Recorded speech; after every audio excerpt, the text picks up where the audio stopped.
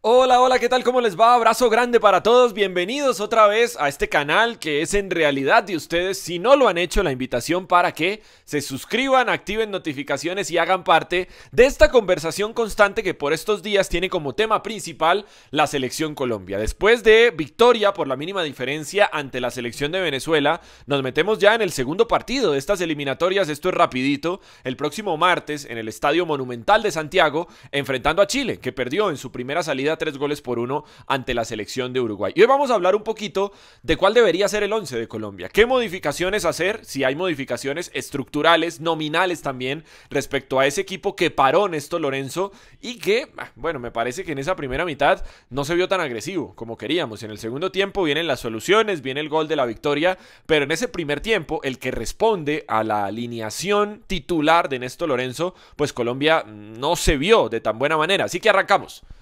Bueno, tomamos como punto de partida el 11 de la selección Colombia en el partido ante la selección de Venezuela, con Camilo Vargas en portería, Daniel Muñoz lateral por derecha, los centrales Jerry Mina y John Hanner Lucumí y el lateral por izquierda David Machado. Por delante Jefferson Lerma, Juan Guillermo Cuadrado y Mateus Uribe como interiores, casi siempre partiendo de esa posición, aunque sobre todo Cuadrado en algún momento iba a la banda. El extremo por derecha, Arias, que cuando Cuadrado iba a la banda, pues se daba ese intercambio posicional, él atacaba carril central. El extremo por izquierda, Luis Díaz, y en punta, Rafael Santos Borre. ¿Qué modificaciones harían ustedes para este partido? Y arranco yo de atrás hacia adelante. Camilo Vargas es mi arquero titular. Daniel Muñoz es mi lateral por derecha titular. Yo no lo vi tan cómodo en la primera mitad. Me parece que fue un partido sin, sin, mucho brillo, sin mucha incidencia para Daniel Muñoz.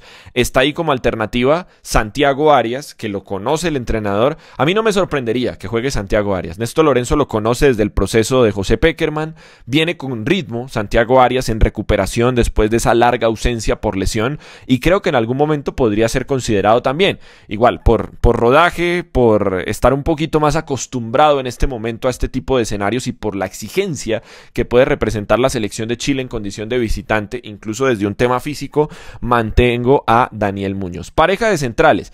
Jerry Mina creo que no hizo un mal partido, más allá de un par de pelotas cruzadas en las que pierde por arriba los dos, los dos centrales de la selección Colombia. Yo he insistido en un nombre como acompañante para Lucumí, que es el jugador que más minutos ha recibido en esta era Néstor Lorenzo, y es eh, Carlos Cuesta. A mí me gusta lo de Carlos Cuesta como iniciador de juego. Esa responsabilidad fue en este partido para Lucumí, pero estando Cuesta él se encarga de eso y creo que ese arrancar desde atrás, ese registro de juego podría repetirse más en este partido, con las condiciones de este partido partido en condición de visitante y ante una selección que más allá de su derrota y de su transición generacional, pues te va a exigir, como es la selección de Chile. Lucumí, lo decía ahora, el jugador que más minutos ha tenido en la era Néstor Lorenzo, para mí es un titular fijo en este juego que va a disputarse el próximo martes en Santiago. David Machado como lateral por izquierda. Yo valoraba en el video post partido del jueves ante Venezuela el trabajo de David Machado y varias personas me decían que no lo habían visto de esa manera. Por supuesto, este espacio es para eso, para que ustedes compartan su opinión y confrontemos perspectivas. Eh, a mí me gustó lo de David Machado, sobre todo por las sociedades que pudo establecer por izquierda. Con Luis Díaz se acercaba a Luis Díaz, fue generador de juego para él, lo vi en alto nivel de concentración.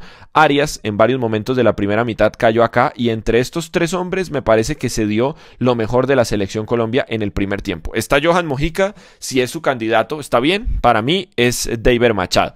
Acá viene una modificación que creo va a ser estructural para este partido. No sé si Colombia va a jugar con un 5 y con interiores. Eh, sobre todo con interiores de estas características, me parece que en algún momento puede ser más un acompañante más cercano a la misma línea de Jefferson Lerma cuando no se tenga la pelota. Bueno, Lerma es fijo para mí, eh, está en buen momento en el fútbol inglés, creo que en esto Lorenzo no lo va a tocar y me parece que hay eh, muchos argumentos para tomar esa decisión respecto a Jefferson Lerma. Ahora, ¿quién debería ser el acompañante? Está Mateus Uribe no sé tampoco si lo vaya a tocar, porque es de los jugadores que más minutos acumula en esta era Néstor Lorenzo. Ahí hay otras alternativas como Wilmar Barrios, que es incluso más de marca a marca que Jefferson Lerma. No sé si busca eso o quizá un volante mixto y ahí me parece que Colombia tiene un buen nombre y seguramente el profe dirá y algunos dirán, no, pero es que cómo, cómo lo vas a exponer de esa manera, su primer partido con selección en un estadio tan bravo como el Monumental de Santiago y puede ser, pero creo que el, eh, me parece que hay un jugador muy interesante que es Richard Ríos. Yo venía pidiéndolo incluso para el partido anterior Creo que hay pocas posibilidades de que esté en este y mucho más como titular. En el partido anterior incluso fue a la tribuna, pero es el nombre que yo utilizaría ahí. Lo de John Arias por derecha creo que no tiene discusión. Tremendo centro el que metió y además un generador absoluto de juego por ese carril. Luis Díaz por izquierda también es un fijazo. La selección debe girar muchas veces en torno al, al talento, a la idea futbolística y a la intensidad con la que lo hace también Luis Díaz. Por dentro, buenas alternativas. Carrascal me parece que cambió la cara para Colombia en el, en el segundo tiempo. Es el iniciador de esa jugada del gol. Tiene otras buenas acciones en las que incluso descarga la pelota al costado y va y ataca posición en carril central y estuvo cerca de, marcar incluso. Colombia tiene ahí también como alternativas a Juan Fernando Quintero y a James Rodríguez. Y yo voy a insistir en Juan Fernando Quintero porque lo veo bien, desde lo futbolístico y desde lo físico también.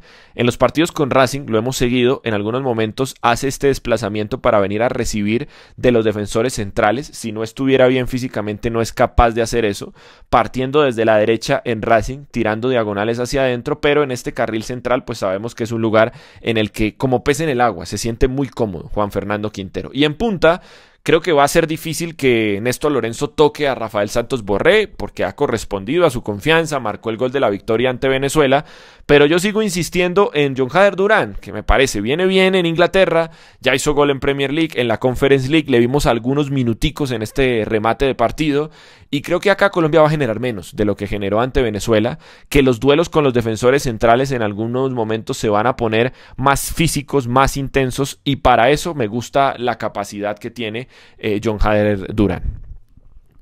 Bueno, ahí estaba entonces. Eh, quiero conocer su opinión también. Por supuesto, déjeme aquí en la cajita de comentarios cuál sería su 11, si está de acuerdo con este, si está de acuerdo en un alto porcentaje o usted dice, no, definitivamente, usted está loco, yo voy por otro lado. Cuénteme ahí en la cajita de comentarios cuál sería el 11 de arranque para enfrentar a la selección de Chile y a partir de este momento me pongo a leerlos ahí juiciosito en la cajita de comentarios. Chao, gracias, abrazo grande para todos.